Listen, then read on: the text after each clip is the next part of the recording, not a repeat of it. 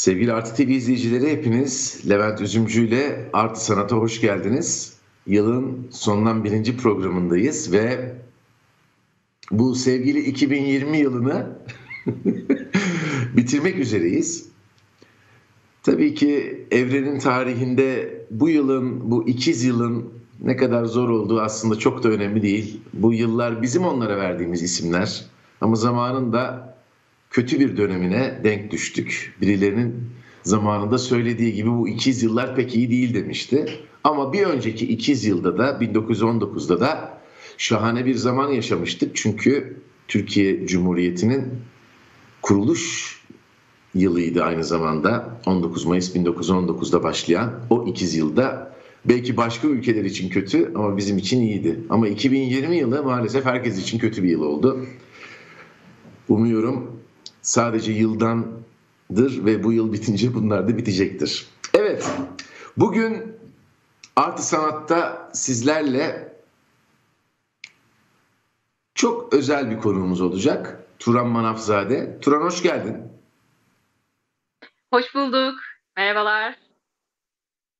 Merhabalar. Gözümüz gönlümüz açıldı. Seni görünce, seni, piyanonu, arkadaki iki kardeş ülkenin bayrağını görünce içimiz açıldı. Geçtiğimiz 10 Aralık ülkenizde yeni bir bayram günü ilan edildi. Bayramın adı nedir Turan? Zafer Bayramı'dır. Zafer Bayramı'dır. Yıllar süren işgalden kurtarılmış Azerbaycan, Azerbaycan topraklarının Karabağ'ımızın bize geri gelmesini kutluyoruz ve Türkiye kardeşimiz Türkiye'de yanımızda olduğu için ayrıca da çok mutluyuz. Evet e, bu, çok özel bir gün oldu. Çok insanların milliyetçi duygularının da kabardığı bir gün oldu bir yandan da. Ama e, sanıyorum böyle ülkelerin kardeş olmasını özlediğimiz bir döneme denk düştü. Umarım dünyadaki bütün ülkeler savaşsız bir şekilde barış halinde birbirleriyle bir arada olacakları gerçekten o günün zafer günü olarak kutlanacağı bir günü hep birlikte kutlarlar bir gün. Çok güzel bir temenni. Gerçekten dünyada savaşların, insan ölümlerinin olmaması adına aslında hepimiz bu duaları, bu e, istekleri istiyoruz da e, elbette ama tabii ki arada böyle yaramazlıklar da olabiliyor dünya tarihinde. Maalesef. E, bu sefer de artık Azerbaycan da artık bıçak kemiğe dayanmıştı ve Türkiye'nin de desteğiyle maddi manevi her türlü yani fiziksel desteğiyle e, biz de bugünlerde bu Zafer Bayramı'nı kutluyoruz. Yeni yıl öncesi hepimize sürpriz oldu açıkçası. İyi yani bu e, insanların belki de ihtiyaç duyduğu bir moral de oldu. Umuyorum dediğim gibi barış içerisinde bir dünyanın da hep birlikte kutlanacağı mesela işte 1 Eylül barış günüdür ya onu hep birlikte kutlayıp eğleneceğimiz bir arada yürüyüp kol kola girip geçmiş korkunç zamanları unutacağımız zamanları umarım kurabilir çocuklarımız biz olamasak da. Evet Turan Manafzade bugünkü konuğumuz çok özel bir konuk kendisi. Çünkü Türkiye'nin ilk kadın orkestra şefi. Doğru mu? Ee, ben Azerbaycan'ı yurt dışında temsil eden en genç e, orkestra şefiyim. Aynı zamanda 6 yaşımdan beridir piyano çalıyorum. E, ailemiz zaten herkes müzisyen. Amcamlar da müzisyen, teyzemler, halamlar, bütün herkes müzisyen. Tüm çevremizde yani hep müzisyenler var. Hatta benim mimar olan e, kuzenim bile mesela örnek olarak o bile e, cazla uğraşıyor, müzikle uğraşıyor. Bizde yani müzikle uğraşmayan insan yoktur. Öyle söyleyeyim. Ne kadar güzel sanatla dolu bir aileden geliyorsun. Ben de seninle bir şey paylaşmak istiyorum. Senin çok iyi bildiğin isimler olduğunu düşündüğüm hocalarım var benim. E, Sovyetler Birliği'nin yıkılmasıyla birlikte biz Eskişehir Anadolu Üniversitesi Devlet Konservatuvarı'nda okurken bizim çok kıymetli Azerbaycan'dan gelmiş hocalarımız vardı. Benim şan hocam Lütfiyar İmanov'tu. evet. Ve e, Aynı zamanda okuldaki müzik hocalarımız içerisinde adı Güzelzadeler vardı. Zöhrab ve Ferit adı Güzelzade. Evet evet bizim de dostlarımızdır kendileri. E, muhtemelen çünkü onlar da çok başarılı piyano, piyanistlerdi. Evet. E, ben senin yaptığın işi biraz şuna benzetiyorum. Sinema diliyle anlatırsak bir filmin hem yapımcılığını yapıyorsun hem senaryosunu yazıyorsun hem de filmi yönetiyorsun. Bütün bunlarda yeteneğin var. Doğrudur. Düşünsene Doğrudur. yani e, be- besteleri çalabiliyorsun piyanoda. Aynı zamanda büyük orkestraları yönetebiliyorsun. Ve bu konserleri düzenleyebiliyorsun. Seni ayrıca tebrik etmek istiyorum. Çünkü Çok dünyamda bu kadar fırsat eşitliği ile ilgili problemin olduğu bir dünyada e, fırsat eşitliğinin en az olduğu coğrafyalardan birinden çıkarak çok başarılı oldun. Ayrıca seni bu yüzden de çok tebrik ediyorum. Çok teşekkür ediyorum.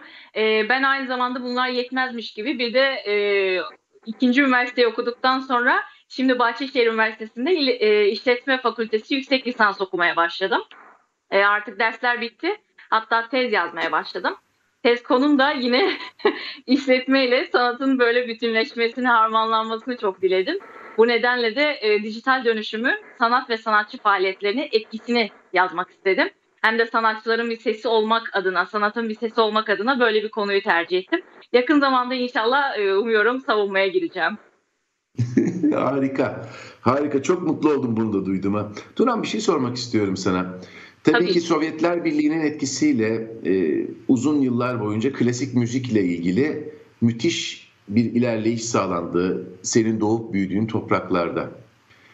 Fakat bir de bizim ulusal topraklarımıza özgü ezgilerimiz var. Hatta pek çok farklı ırklardan gelenlerin ortak ezgileri var. Özellikle senin geldiğin yerde İran'dan, Ermenistan'dan, Gürcistan'dan çok farklı yine Anadolu topraklarından çok farklı ezgilerin harmanlandığı bir yerden bahsediyoruz. Acaba klasik müzik hayatında bu ezgilerin sende ne gibi bir yeri oldu? Bunu bize anlatır mısın? Ben çok merak ediyorum bunu.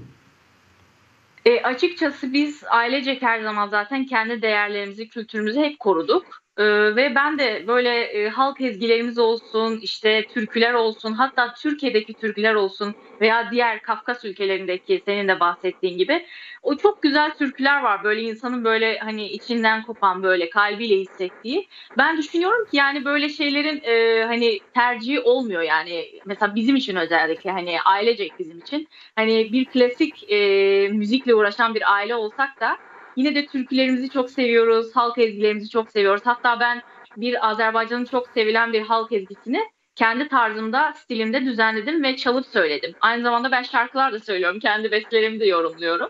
Klibini bunun hatta klibi- bahsediyorsun. Evet. evet, Laçın'dan bahsediyorum. Sonunda Laçın'a da kavuştuk. Tam yerine düştü yani. Dolayısıyla böyle e, çok sevdiğim ezgileri ben de söylüyorum. Bazen insanlar da rica ediyorlar. Hani mesela Nazen'de Sevgilim gibi hani birçok topraklarda e, dinlenen müzikler de var. Çok sevilen müzikler de var. Onun gibi müzikleri de mesela ben Doğa için Çal gibi bir projeye katılmıştım Azerbaycan'da. Mesela o çok sevildiği için o proje hatta benden özellikle bunu tek başıma da e, solo şekilde de e, yorumlamamı çok istediler. Bazen konserlerimde de solo konserlerimde de böyle sürprizler yapıp en sonunda bir Nazen'de sevgilim söylediğim de olabiliyor. Yani öncelikle klasik repertuarın yanı sıra diğer bestelerimi yorumladıktan sonra böyle sürprizler, jestler yapabiliyorum. Peki Turan e, hani böyle herkesin çok sevdiği, çok beğendiği klasik müzik sanatçıları vardır. Avrupa'dan yetişmiş, o müziği dünyaya sevdirmiş, göçüp gitmiş çoktan isimler vardır. Acaba senin piyano ile kurduğun ilişkide örneğin Haçaturyan mıdır, Chopin midir? Nasıl görüyorsun? E, belki biraz daha geçmişte yaşadığım zaman Haçaturyan'ın ismini daha e, şey rahatlıkla söyleyebilirdim ama yani tabii ki bizde müziğin böyle milliyeti yoktur, sanatın milliyeti yoktur tabii ki öyle değerlendirmiyorum ama e, bir sanatçı olarak da e, farklı geniş vizyonda bakabilmeye çalışıyorum olaylara. E, Haçaturyan'ın müzikleri de çok seviliyor tüm dünyada. Çok e, güzel eserleri de var esasında. Fakat e, Azerbaycan'ın da çok değerli bestecileri var. Öncelikle tabii ki kendi üreticiliğime, kendi yaratıcılığıma da üstünlük veriyorum. Kendi bestelerimi de çoğu zaman icra etmeye çalışıyorum. Bunun yanında dediğim gibi Azerbaycan bestecilerini de her zaman dünyada ifa, e, icra etmeye çalışıyorum, seslendirmeye çalışıyorum. Ee, daha sonra inşallah sıra geldiği zaman belki Haçaturyan konusunu da e, düşünülebilir tabii ki ama e, dediğim gibi çok güzel besteleri var Haçaturyan'ın da. Yani dünyada birçok e, Şefler de yönetiyor eserlerini, birçok insanlar da onun eserlerini çalıyorlar. Yani olabiliyor her türlü ben her yerde görüyorum. O yüzden de sanatın ve müziğin e, milliyeti yoktur, ayrımcılığı yoktur. Peki bir şey söyleyeceğim sana.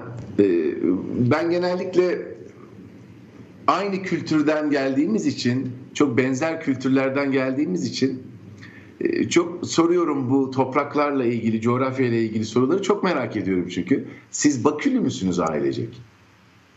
Biz tam Bakülüyüz. Ama tabii ki mesela bu Karabağ'ın e, bu zafer dolu günlerinde elbette hepimiz tüm Azerbaycanlı olduk. Çünkü bazı insanlar hani e, mülteci olma zorunda kaldıkları e, şehirlerinden bahsettiler. O dönemlerde işte ben hangi e, topraklar kurtarıldıysa o günlerde oralıydım. Ama biz bütünlükte tabii ki Azerbaycanlıyız. E, doğduğumuz, büyüdüğümüz eski e, öncekilerin de ait olduğu yer Bakü'dür ama. Peki na- nasıl şimdi anladığım kadarıyla geçen haftalarda bu pasaport sadece pasaport sahibi olmak yeterli olacak Azerbaycan'a gitmek için. E, ne sıklıkta gidiyorsun sen Azerbaycan'a? E, ben Azerbaycan'ın e, bu zamanlarda gidiyorum. Tabii ki orada devlet sanatçısı ünvanım da olduğu için 2017'de Cumhurbaşkanı İlham Aliyev tarafından e, devlet sanatçısı ünvanıyla tasvip edildim. Dolayısıyla e, devlet sanatçısı ünvanım olduktan sonra tabii ki daha sık gitmeye başladım. Çünkü konserler dolayısıyla çok davetler aldım. E, çok eserler yönettim, çok piyano konserleri de verdim. Bir de e, kadın orkestra şefi olmanın da e, tabii ki güzel tarafları var. Yani e, genellikle erkek şef görmeye tüm dünya alışkın. Ama kadın orkestra şefleri de zaten e, sayıları gün be gün artmaktadır. Bu da çok güzel, mutluluk verici bir şeydir. Yani ara sıra hem senet e, e, belge işlerimiz dolayısıyla hem de daha çok da konserlerimiz dolayısıyla sık sık gidiyoruz. Peki o zaman konuşmanın burasında acaba e, seni çok zorda bırakmazsam bize kısa bir parça çalmanı rica edebilir miyim? Piyanoda. Ee, acaba e, ne olabilir mesela? E, yine çok sevilen bir e, şarkı sizler için söyleyebilirim. Birazcık e, geç bir saat olduğu için klasik bir eser e, yerine daha çok bir sevilen türkü. Demin bahsettiğimiz Nazen'de sevgilim parçası olabilir aslında. Eğer Aa, ne kadar sevinirim. Seni, seni dinleyelim mi? Tabii ki çok teşekkürler. Ben teşekkür ederim.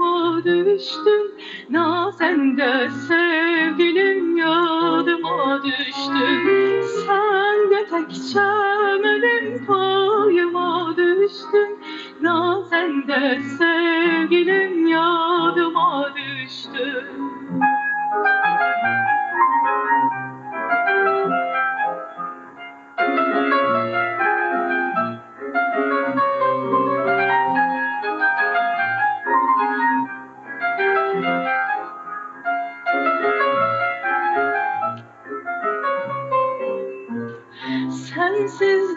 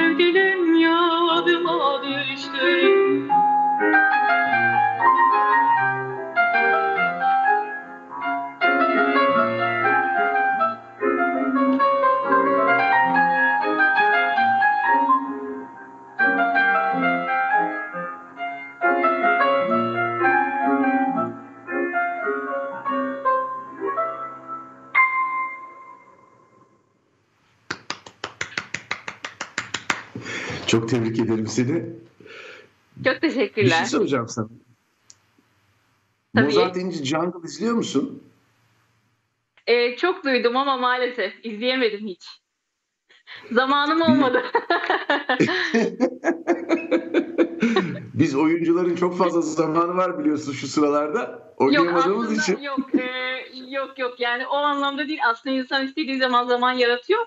E, o şey de var o dijital platformum da var ama maalesef izleyemedim ya ben zaman yaratamadım. Ben genellikle müzisyen arkadaşlarıma izleyip izlemediklerini soruyorum. Çok çok özel bir dizi. Çok hoşuma gidiyor. Tabii ki bir dizi sonuçta. Ama bir e, orkestra, bir senfoni orkestrasının ne hallere düştüğünü, oradaki insanların da bir insan olduğunu, çok özel yetenekler olmadığını gösteriyor. E, tabii ki işlerinde çok özeller ama işte hep öyle olur ya. E, çok beğendiğin insanları tanıma derler. Onun evet. sanatıyla senin kafanda oluşturmuş olduğu imaja pek oturtamayabilirsin derler. Doğru olduğunu düşünüyorum ben bunun. Ee, özellikle oyuncular için çok geçerli bu. Çok büyütüyor çünkü insanlar oyuncuları gözlerinde ve oynadıkları rollerle bir ister istemez bir paralellik kurmaya çalışıyorlar onların hayatında ama onların bir başka hayatı var. Hiç kimsenin, çoğu insanın da bilmediği yaşam alışkanlıkları var. Ben onu çok merak ettim Mozart in the Jungle'ı izleyip izlemediğini. Ama izleyeceğim. Özellikle bu yayından sonra başlıyorum izlemeye. Peki bir çok şey çok çok merak sana. ettim Bak, çünkü gittiğin şimdiden. zaman- Efendim bir daha söyler misin? Çok çok merak ettim özellikle bugünden sonra. Tamam tamam. Ee, Turan sen Azerbaycan'a gittiğin zaman kendi evinizde mi kalıyorsun? Yani Evet, orada hala evet. bir yuvanız Orada- var mı? Tabii tabii yuvamız var. Herkes orada, tüm akrabalar da orada. Ee, bazen tabii ki konser salonlarına yakın yerlerde de konaklayabiliyoruz.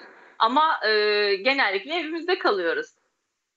Ben bunu duyduğuma çok sevindim. Çünkü e, bir gün e, Büyük Adalı bir Rum abim beni kolumdan tutup şey demişti. Adaya geliyordu sık sık ama Yunanistan'da yaşıyor kendisi. Levent en kötüsüne biliyor musun demişti. Ne demiştim? İnsanın evine dönüp de otelde kalması demişti. Çok koymuştu o laf bana. Evet. Nereden hatırladıysam şimdi Turan. E, içime dert olurdu vallahi sen evinde kalmasaydın evinde. E, esasında otelde kalmak çok rahat bir şey. Hazır her şeyiniz hazır geliyor çünkü yani e, bütün her şey yenilenmiş şekilde. Ama tabii ki evde de evin sıcaklığı apayrı bir şey. Yani akrabaların yanında olmak, e, o sıcaklık ama esasında e, sen de hak verirsin de yani e, insan bir performans yapacağı zaman da birazcık yalnız kalmak istiyor. Yani e, genellikle insanın yanına gelip onu e, meşgul etmemelerini istiyor insan özellikle büyük projelerde, büyük performanslarda. Dolayısıyla ben birazcık da performans zamanında yalnız kalmayı da seviyorum. Ha, ne kadar güzel.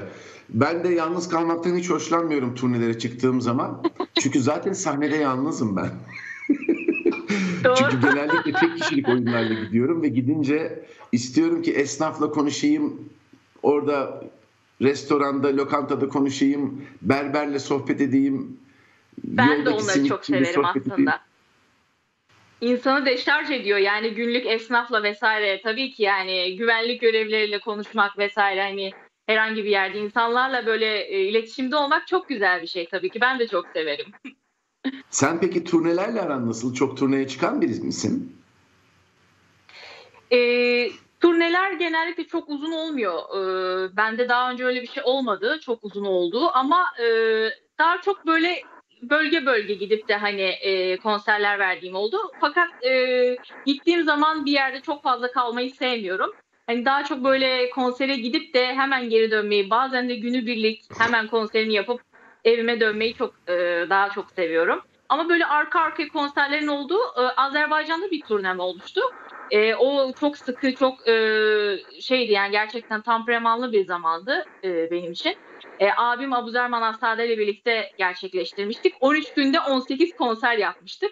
Azerbaycan'ın e, çeşitli bölgelerinde. Çok e, büyük e, gerçekten enerji isteyen temperamanlı bir programdı. Onun dışında da Avrupa'da vesaire gittiğim zaman zaten hani e, tamam yakın yerlere seyahat ediyorum ama böyle 2-3'ten fazla hani gittiğimi hatırlamıyorum. Yani çok fazla arka arkaya olduğunu hiç hatırlamıyorum. Yani gidip döndüğüm daha çok oluyor.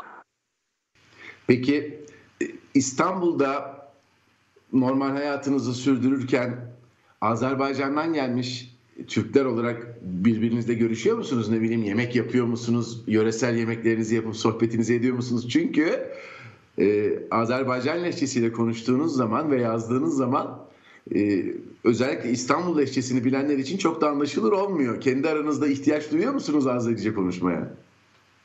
E, biz Türkiye'ye yeni geldiğimiz zaman e, daha çok bizim Azerbaycanlılar burada e, konuşmaya birazcık çekiniyorlardı. Ondan sonra böyle çok diziler yapıldı. Azerbaycan mevzusu çok böyle toplum içinde konuşulmaya başlandı işte. E, her şeye böyle bir konu olunca biz de böyle hiçbir zaman utanmadık tabii ki insan utanır mı dilinden ve e, gerçeklerinden asla yani.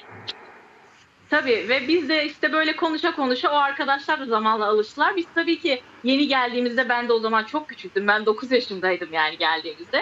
20 sene önce biz İstanbul'a babamın davet edilmesi üzerine geldik İstanbul'a taşındık. Ve e, o zaman küçüktüm ama yani e, her zaman biz e, buluşurduk, e, görüşürdük. Şimdi yeni bir dünyada İstanbul gibi kaos bir e, şehirde tabii ki çok zor. Bir yerden bir yere gidebilmek, e, birbiriyle buluşabilmek çok zorken hele şimdi böyle bir döneme düşmüşken iyice yani tamamen sosyallik vesaire e, tüm o geleneksel algılarımız değişecek gibi duruyor açıkçası. Peki 9 e, yaşında bir çocuk için ülke değiştirmek, başka bir toprağa gitmek, başka bir iklime gitmek çok zor olsa gerek. Değildi Ayrıca aslında. Pek çok çocuk yani... içinde bir, bir travma olduğu söylenir böylesine büyük değişikliklerin. Peki o 9 yıl içerisinde yaşadıklarınla ilgili özlediğin şeyler var mı orayla ilgili? E, açıkçası e, yok böyle kendi huzurluklarımı hatırlıyorum daha çok ben çocukluğumla ilgili. Özellikle işte abimin, abim benden bir yaş büyüktür. Abim işte okula gidecekken ben bir gece kala okulların açılmasına hani ben de okula gitmek istiyorum gibi bir e, böyle bir öncü bir atılımcı bir e, tavırla okula gidiyor olmam vesaire işte okuldaki e, eğlenceli sürekli bütün organizasyonlarda yer almak işte çocuklara liderlik etmek, hep sınıf başkanı seçilmek. Hani o liderlik, o orkestra şefliği şeyi altyapısı oradan geliyor diyebilirim. Yani e, bu tarz şeyleri hatırlıyorum tabii ki. Yani hatta yaşım çok küçüktü ben okula ilk başladığımda. Müdüre götürdüler hatta yani e, bu çocuk çok küçük falan dedi ama e, bir götürün dediler bir e, bir üstteki kişi baksın filan. Ben tabii bir bakış atın, atınca böyle bir müdüre hani o dedi ki bu çocuk cin gibi dedi okuyacak bu.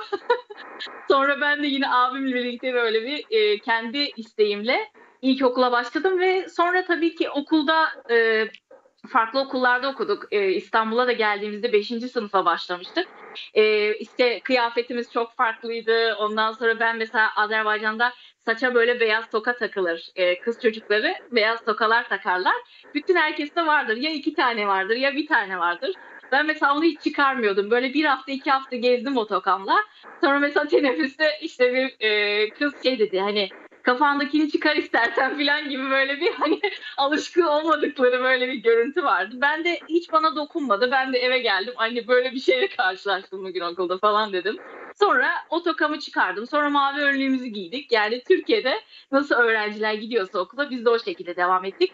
E, bir travma gibi bir şey olduğunu kesinlikle söyleyemem e, buraya geldiğimizde ama e, daha çok biz İstanbul Boğazı'nı, İstanbul'u, güzel Türkiye'yi hep böyle televizyonlarda görüyorduk. E, işte hep düşünüyorduk ya ne güzel bir ülke, ne güzel bir şehir İstanbul falan diye. Bir anda böyle babam hani hadi toparlanın gidiyoruz İstanbul'a deyince çok mutluluk verici bir bizim için bir değişim oldu açıkçası. Geldik ve hiç e, zorlanmadık da buraya entegre olmakta. Turan, acaba biz biliyorsun klasik müziğe biraz uzak bir toplumuz ama buna rağmen de olabildiğince klasik müziği bu ülkede yaşatabilmek için okullar açtık, orkestralar kurduk. Hatta özel sektörün elinde bile filarmoni orkestrası var. Bir şey soruyorum, bir şey merak ediyorum. Bize en basit şekliyle acaba bir maestro'nun, bir orkestra şefinin ne yaptığını nasıl anlatabilirsin? Klasik hani ben biliyorum bunu ama bizim izleyicilerimiz için de bunu bilmeyenler olabilir. Nasıl yani hareketlerini görüyoruz. Yıllardan beri biliyoruz. Ama burada anlamaya çalıştığımız, anlatmak istediğimiz nasıl ifade edebiliriz bir orkestra şefinin ne yaptığını? Çok güzel bir soru soruyorsun. Çünkü insanlar genellikle şey düşünüyor. Hani orada birisi ellerini vuruyor. Hani ne yapıyor tam olarak filan diye insanlar anlamaya çalışıyorlar. Esasında e, orkestra şefi e, toplumsal bir dille, halk diliyle şöyle söyleyebilirim. E, trafik polisi diyebiliriz. Çünkü e, işte şimdi kemanlar girecek, şimdi cellolar girecek, şimdi işte e, üflemeler girecek vesaire. Hani birazcık giriş, giriş çıkışları insanlara hatırlatan ve bir de e, tabii ki orkestra kendi başına çalamaz mı gibi bir e, klasik bir soru da oluyor. Ama tabii ki çalar fakat e, orkestra şefi bir dış kulaktır. Yani tüm balansı e, sağlayabilmek adına bir dış kulaktır ve e, hangisi mesela tabii ki salonların vesaire akustiğine göre de e, ayarlar orkestra şefleri. Provalarda, işin mutfağında çok e, dikkat eder ve ona göre müziği yönlendirir. E, mesela işte kemanlar birazcık daha yüksek kuvvetli çalıyorsa onu hani o duruma göre, o esere göre, o akustiğe göre hani siz biraz daha hafif çalın der, siz biraz daha yükselin der cellolar. Hani böyle bir balansı kurabilmek adına bir e, kişidir orada bulunan ve orkestra şefi olmak sadece eli kolu sallamak değildir. Gerçekten çok ciddi bir eğitimden geçer orkestra şefleri ve ben de mesela e, orkestra şefliği okumadan önce e, piyano eğitimi aldım tabii ki. Piyano eğitimi almak da benim için çok faydalı oldu. Yani herhangi bir enstrümana hakimiyet de bir orkestra şefi için çok önemlidir. Ha, olmayan şefler de var. Onlar da tabii ki çok başarılı şefler var ama bir enstrümana hakimiyet bir orkestra şefi için çok önemlidir. ne kadar güzel anlattın. Böyle, ben ders dinliyormuş gibi dinledim seni. Mesleğini ne kadar güzel anlatıyorsun. Mesleğinin peki e, meslek olarak sorulduğunda orkestra şefiyim mi diyorsun, piyanistim mi diyorsun? Ee, aslında artık saymıyorum çünkü çok uzamaya başladı bu meslekler. Ama e, yerine göre söylüyorum açıkçası. Yani o an orkestra şefi demek gerekirse orkestra şefi. Piyanistim aynı zamanda diyorum. Besteciyim filan. Bu böyle uzayıp gidiyor bu zincir. Mozart'a sormuşlar en çok neyde zorlanıyorsunuz üstad bu besteleri yaparken demişler. Mozart da şey demiş yazmasında. Çünkü beste kafada onu kağıda dökmesi en zoru değil evet. mi? Evet, bu kadar fazla evet. müzik aleti var. Hepsinin o sesi nerede gireceği, nerede çıkacağı, hangi melodiyi devam ettireceği çok zor, çok kombinasyonları çok fazla olan bir şey. Peki sen beste Evet. yapıyor musun? Ben besteler yapıyorum. Ee, farklı enstrümanlar için de yapıyorum. Kendi e, çalıp söylediğim bestelerim de var. Bunları dijital platformlara da koydum ayrıca. Kaydettim, e, yayınladım. Ee, ve e, başka enstrümanlar için de dediğim gibi var. Orkestra için eserlerim var. Değişik klasik gruplar için eserlerim var. Ee, benim abim de bu arada bestecilik de yapıyor aynı zamanda. Hem piyanist hem orkestra şefi hem besteci o da benim gibi. Aynı e, benim erkek versiyonu diyebiliriz. Onun da bir yazdığı e, çok önemli bir eser vardı. Azerbaycan'ın milli aletlerinden balaban için yazdığı ve e, Amerika'da Kaliforniya'da ilk seslendirilmesi gerçekleştirilen Balaban Konçertosu. Dünyada yazılmış Balaban için ilk konçertoyu. E, bundan 2-3 sene önce e, Kaliforniya'da seslendirdiler. O da çok güzel bir eser, çok başarılı bir eserdi. Ben o çaplı bir eser henüz yazamadım. Fakat çok büyük e, fikirlerim var, düşüncelerim var. E, ve umarım yakın zamanda hepsini gerçekleştireceğim.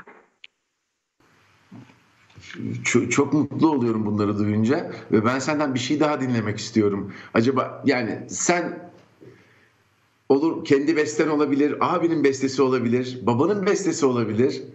Ee, acaba bizim Ee, hiç duymadığımız bir şey çalar mısın?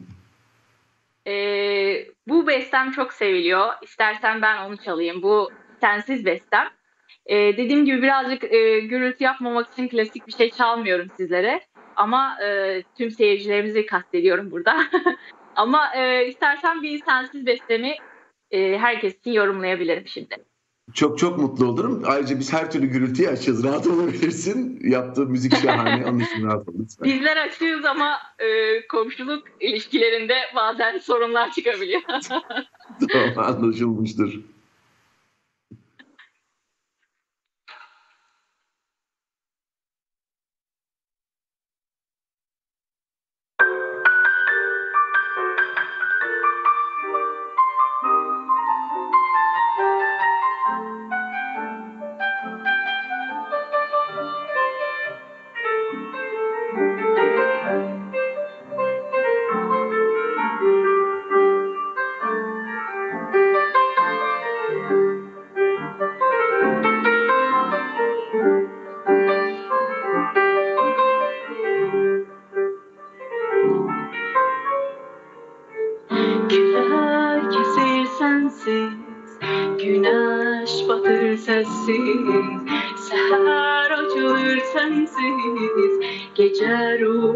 Sensiz Küler kesir sensiz Güneş batır sessiz.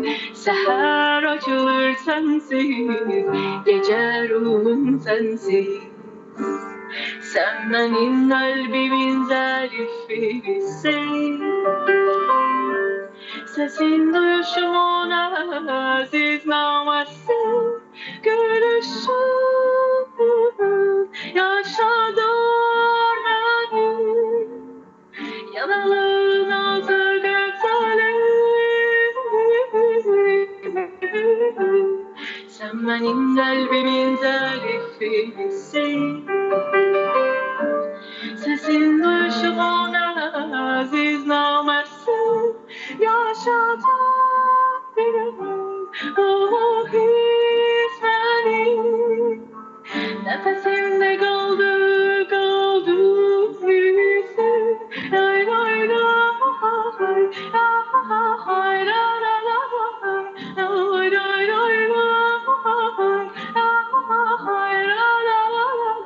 Lay lay Zaman sensiz akır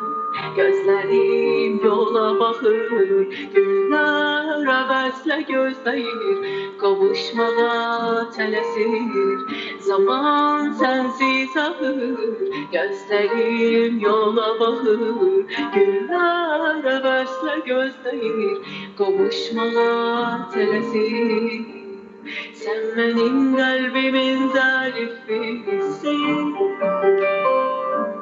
Sesin düşman aziz namesi yaşatabilir Oh hizmet Yanağın altı göksali Sen benim kalbimin zarifisin Sesin düşman aziz namesi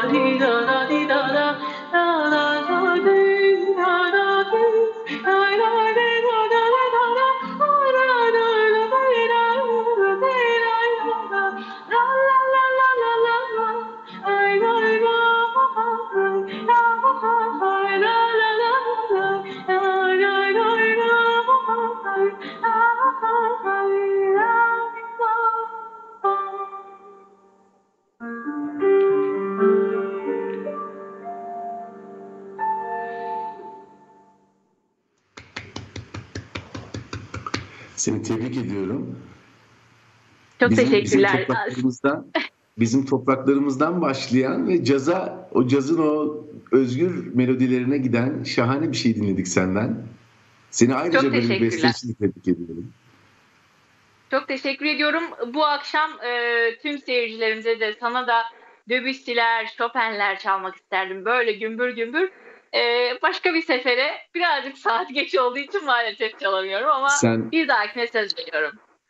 sen Debussy'leri, Chopin'leri çalarsın. Biz de gelir onları sağlıklı günlerde senin çalmış olduğun mekanda dinlemeye geliriz. Salonda dinlemeye geliriz. İnşallah. Ee, Sana çok teşekkür ediyorum programa katıldığın için. Bu güzel Ben enerjinle. Bu, bu güzel sözlerinle, bu güzel yeteneğinle senin için çok özel bu günlerde bize renk kattın Turan. Karşılıklı sana- güzel hisler, güzel duygular.